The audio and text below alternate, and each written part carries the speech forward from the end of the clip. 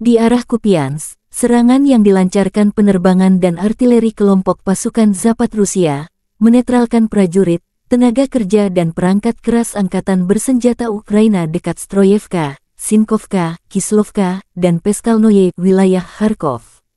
Igor Konasenkov, juru bicara Kementerian Pertahanan Federasi Rusia mengatakan, kerugian musuh mencapai 80 tentara, dua kendaraan bermotor, dan satu howitzer D-30. Satu depot amunisi Brigade Pertahanan Teritorial ke-103 AFU dihancurkan di dekat Tabayevka, wilayah Kharkov. Di arah Kherson, kerugian musuh mencapai 20 prajurit Ukraina, tiga kendaraan bermotor, dua howitzer D-30, serta satu sistem peperangan elektronik anti-drone Bukovel AD. Selain itu, satu pusat kendali kendaraan udara tak berawak Ukraina telah dihancurkan di dekat Berislav, wilayah Kherson.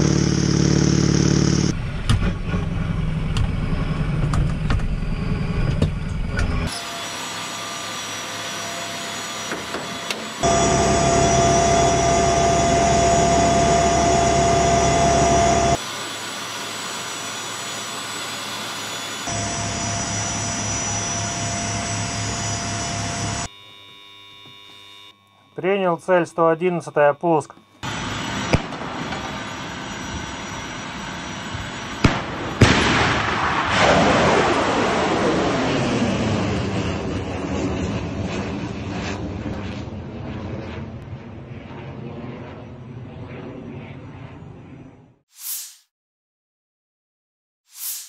Penerbangan operasional taktis dan angkatan darat, pasukan rudal dan artileri angkatan bersenjata Federasi Rusia menetralisir prajurit, tenaga kerja dan perangkat keras militer Ukraina di 132 wilayah.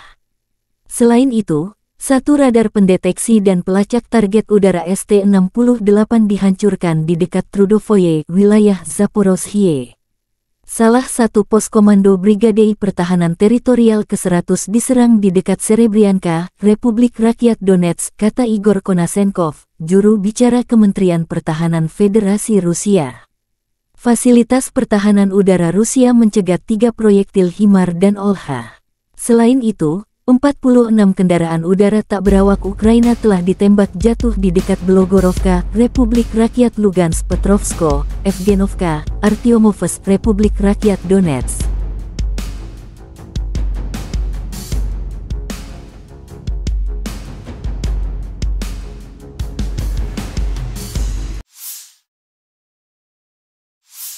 Dalam 24 jam terakhir, lebih dari 20 bentrokan terjadi di garis depan. Rusia melancarkan 10 serangan rudal dan 46 serangan udara, melakukan 37 serangan dari sistem salvo roket terhadap posisi pasukan Ukraina dan wilayah berpenduduk.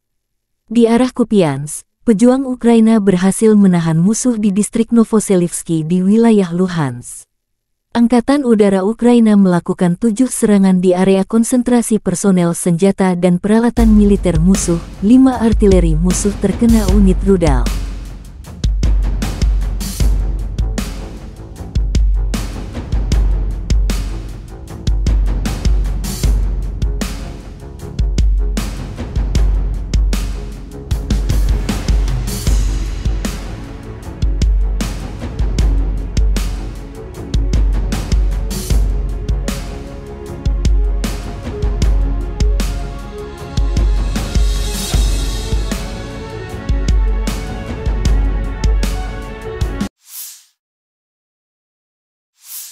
Tentara Ukraina terus menghancurkan peralatan Rusia di dekat Soledar.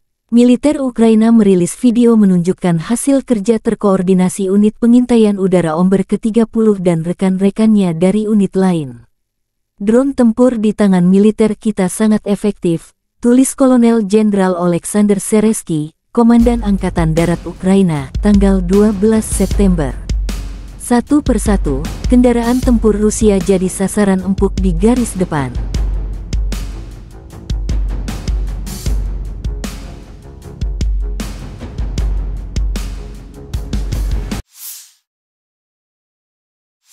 Angkatan Bersenjata Ukraina melaporkan tanggal 11 September Rusia total kehilangan 269.210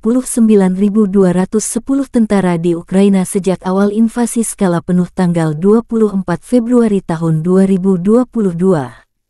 Jumlah ini termasuk 580 korban pasukan Rusia dalam 24 jam terakhir.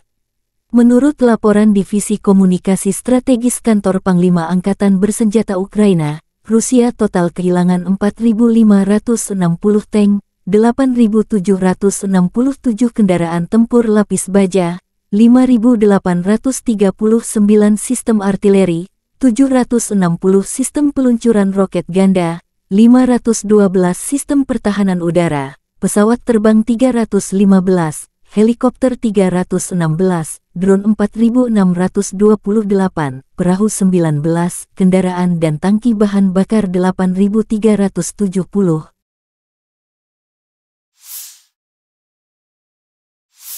Letnan Jenderal Igor Konasenkov, juru bicara Kementerian Pertahanan Federasi Rusia mengatakan, Angkatan Bersenjata Ukraina secara total kehilangan 467 pesawat, 248 helikopter, 6.628 kendaraan udara tak berawak, 437 sistem rudal pertahanan udara, 11.779 tank dan kendaraan tempur lapis baja lainnya.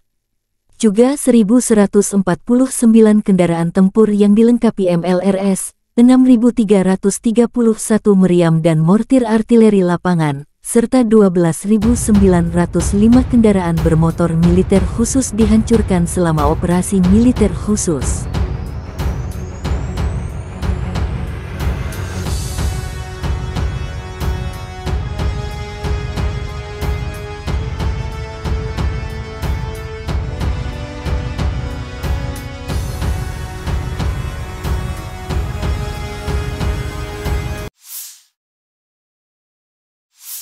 Бажаю здоров'я, шановні українці, українки. Є сьогодні хороша новина. Готуємо посилення пакету оборонної підтримки від Німеччини, ППО, артилерія, техніка.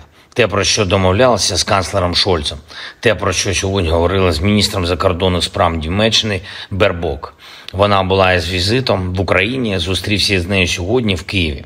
Дуже важливо, що партнери чують потреби нашої держави, наших воїнів, захисту нашої енергетики. Я впевнений, буде результат.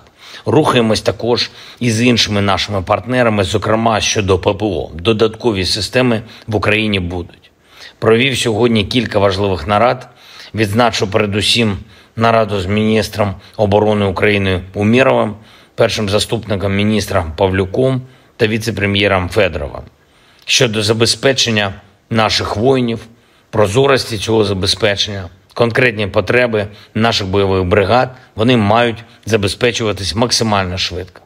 І для цього увесь облік повинен бути цифровізований. Взагалі, паперової роботи у військах має стати значно менше. І точно не має бути різниці між тим, що подається у звітах тут, в центрі, і тим, що реально потребують хлопці на нулі. Міністерство оборони зараз перезапускає систему обліку. Міністерство цифровізації допомагає. Провів сьогодні нараду з представниками правоохоронного сектору. Очевидно, Україні треба більше прогресу в захисті інтересів суспільства, у захисті від тих, хто ставить інтереси свого гаманця вище, ніж суспільні норми і правила, вище, ніж навіть війну. Будуть нові кроки держави. Ще одне. Сьогодні від ранку різні українські міста, області зазнали російських ударів. Нікополь, жорстокі російські обстріли, артилерія, Очаків Миколаївської області, Херсон та інші міста і села Херсонщини, Пологівський район Запорізької області, Донеччина, Покровський район, Бахмутський, Волноваський та інші, Харківщина, Чернігівщина, Сумщина, Кривий Ріг ракетний удар, черговий наліт шахедів, коли на частині території нашої держави тиша і відносний спокій, ми маємо завжди пам'ятати про ту нашу землю, про ті наші міста і села, які майже постійно під вогнем. І хоч сьогодні вже 565-й день цієї війни, ми усі, кожен і кожна в Україні, маємо бути зосереджені на обороні держави так само, як і у перші дні. Росія не сподівається перемогти. Ворог сподівається лише на те, що ми не витримаємо. Україна повинна витримати все, що нас посилює. Пріоритет. І тільки це пріоритет. Жодного послаблення. І нікому не дозволимо послаблювати Україну. Слава усім нашим воїнам. Дякую усім, хто допомагає. Слава Україні! В запорожском направлении подразделениями российской группировки войск, ударами авиации, огнем артиллерии и тяжелых огнеметных систем отражена атака 47-й механизированной бригады ВСУ в районе Работина. Уничтожено до 145 военнослужащих противника, два танка, три автомобиля, зенитный ракетный комплекс британского производства «Штормер», 155 миллиметровая гаубица американского производства М109 «Паладин», 152 миллиметровая гаубица МСТБ, 152 миллиметровое орудие Д-20, 105 миллиметровая буксируемая гаубица американского производства М119. На Херсонском направлении в результате огневого поражения ВСУ потеряли до 20 военнослужащих, три автомобиля, 222 миллиметровые гаубицы Д-30, станцию радиоэлектронной борьбы «Буковель». Уничтожен пункт управления беспилотными летательными аппаратами в районе Берислава. Оперативно-тактической армейской авиации, ракетными войсками и артиллерией группировки поражена радиолокационная станция СТ-68 в районе Трудового Запорожской области, а также живая сила и военная техника противника.